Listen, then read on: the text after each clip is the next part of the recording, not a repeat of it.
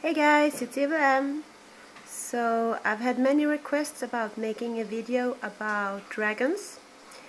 I haven't really used mine myself yet, so uh, I will do my best try to explain it to you.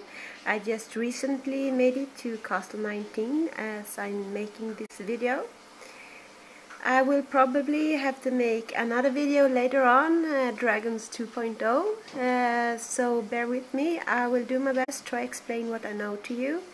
Uh, so hang in there and here we go. From Castle 19 you get three new buildings.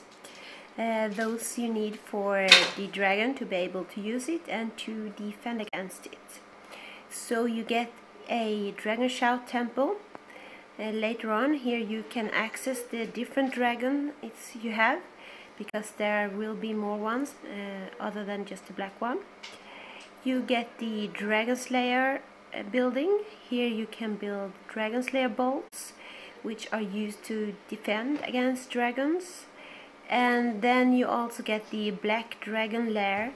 And here you build the dragon shouts that you use with your dragon it's not enough to just have the dragon, you need to have dragon shouts to be able to use it. The dragon buildings, they cost crystals to upgrade. Uh, you create crystals in your crystal workshops uh, and it uh, costs gold to make the crystals so you're gonna need a lot of gold to make them.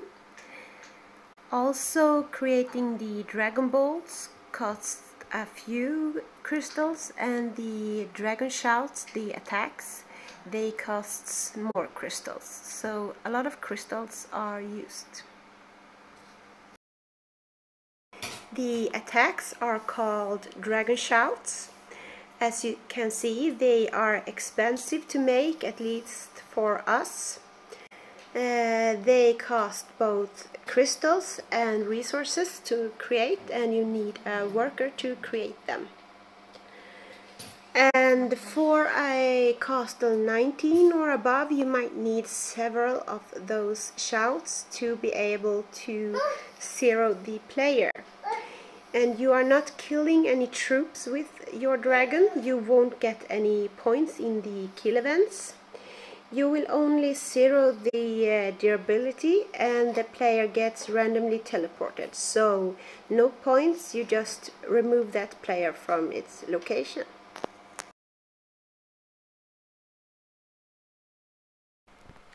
The Dragon Bolts, uh, your defense, those are cheaper to make and uh, they still cost you a few crystals but not as many. The uh, dragon shouts, they remove your bolts as it attacks. Uh, so you could create more ones with a worker and refill.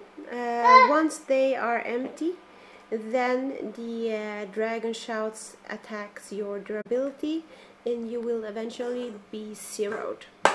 So this goes for the black dragon shouts. There are some different uh, things to the other dragons, but I won't go through that right now as I don't have them and most of you won't have them either in my alliance at least. So I have made a few video clips of others using the uh, Dragon Shout. Uh, you use it uh, just as if you were to attack another player uh, your normal option is attack but right to that option there's an option of shout and there you choose your dragon shout. So click on the player you want to use your shout on and then choose shout and your dragon will fly towards it and it will attack that castle so if it won't have any uh, dragon bolts and uh, if it's a lower castle, you might zero it with one hit. But if it's a higher one and it got a lot of durability, then you might need more shouts. And here you will see other players being zeroed by dragons. Uh, so when to use the dragons? Well, they are really expensive, so I wouldn't use them in everyday attacks it is of course always up to you how much resources you have and what you want to do. Uh, it's entirely your choice. There could be options like in kill events, if you have enemies attacking your hive, maybe you could use it to get rid of them, at least temporarily, until they teleports back. And there will also be some use during Reign of Chaos, but I will make a separate video about that, I think. Yeah. So that was all I had for now about the dragons.